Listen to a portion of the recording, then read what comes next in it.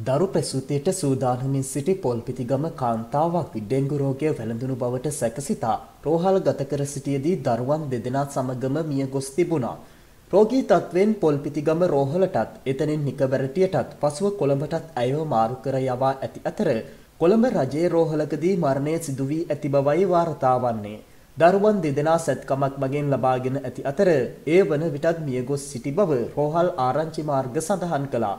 ඇයට ඩෙංගු වැළඳී නොමැති බවත්, ඉතා දුර්ලභ රෝගයකින් පෙළී ඇති බවත් වෛද්‍යවරුන් පසුව සොයාගෙන තිබුණා.